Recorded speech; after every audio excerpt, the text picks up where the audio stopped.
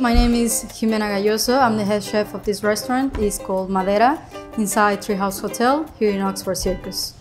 Well, this restaurant is Mexican cuisine. However, tried to fusion with all the European techniques and also all the ingredients, British ingredients. How did I become a chef? It was now 15 years ago. My dream was always to be a football player, but kitchen was was part of all my, my interest. So I decided to start studying culinary arts.